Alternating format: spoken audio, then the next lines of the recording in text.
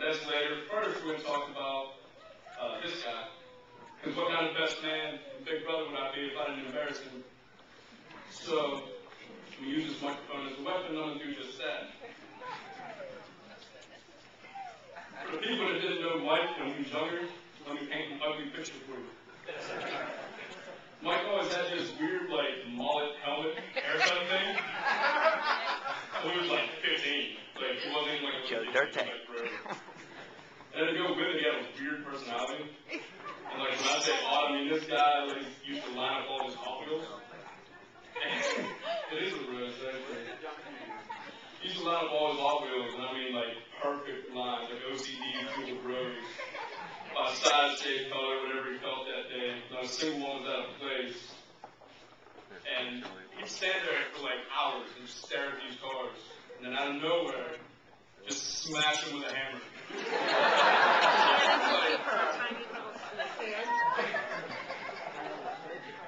Mike was a different dude, though.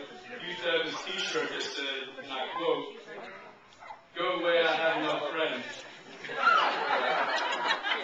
So people and they knew Mike when he wore his shirt, but to the ones who ain't, who ain't laughing and didn't know him, let me explain. Um, irony isn't a strong enough word for that shirt. Mike was not a very popular dude growing up. Until, until that fateful day when he decided he was going to mind his own business and walk through where all the older kids were hanging out.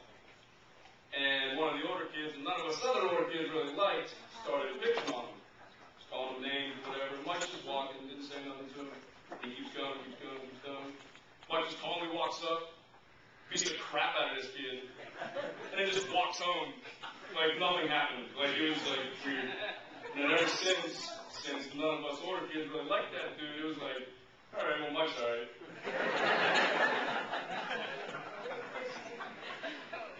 We all had a wild So from side. then, We all did.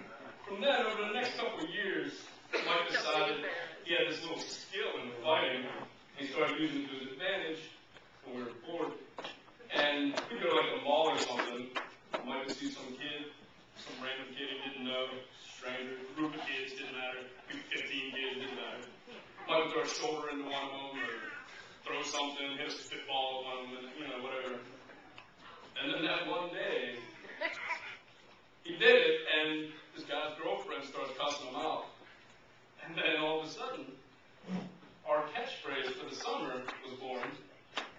Without hesitation, Mike turns around and looks at the lady and says, Don't get your boyfriend beat up. we used it literally every chance we could. So we fast forward. I don't want to embarrass him too much, and I don't want to take up all your time because I'm a big guy and I don't like wearing this suit standing in front of me. So, fast forward to Mike and Kelly meeting each other, and suddenly my crazy fight picking troublemaking brother stopped looking for his next fight because he found his soulmate, and in doing so, eventually found Jesus. Now bear with me because this is when it's going to get a little show to us, and maybe, I don't I practice a little bit, I might not, I'm shaking, but might not cry. My brother has always been my best friend. He's taken a lot of abuse having me as an older brother, but no matter what, he's always been right by my side. There isn't a bond out there stronger than ours, and I thank God every day for it. Now, a couple years back, Mike and Kelly started the How to Life movement. They reached out to save a bunch of our friends who were going away before their time due to, you know, addiction, whatever, suicide, stuff like that. And what they didn't, they, they, they reached out to help our friends, and they didn't realize that they were helping me too. I was in a, you know, my party stage and, you know, mid twenties, was, you know, living it up. And going to How to Save a Life, I learned three very, very powerful wor- words that have gotten me through quite a lot in my life over the last couple of years. And without those three words, and without a man named uh, Greg Castlew, I never would have gotten engaged with Sarah. I never would have had my second daughter with Sarah. And I wouldn't be the happiest father in the world. If it wasn't for Mike and Kelly, I never would have met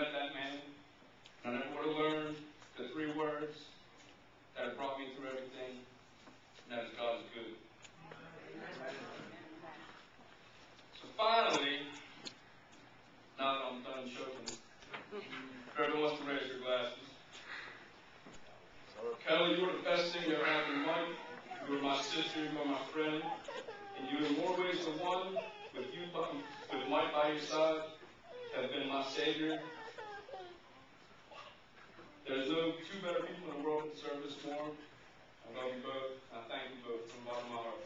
Cheers. Cheers. Cheers.